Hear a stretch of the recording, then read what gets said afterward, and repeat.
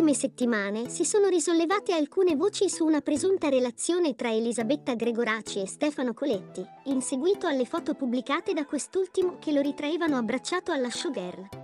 Gli scatti hanno scatenato il web contro Elisabetta, da sempre riservata sulla propria vita privata, portandola a pubblicare un lungo sfogo su Instagram, dove annunciava di non essere impegnata e nel caso lo facesse, era lei la prima ad avvisare i fan.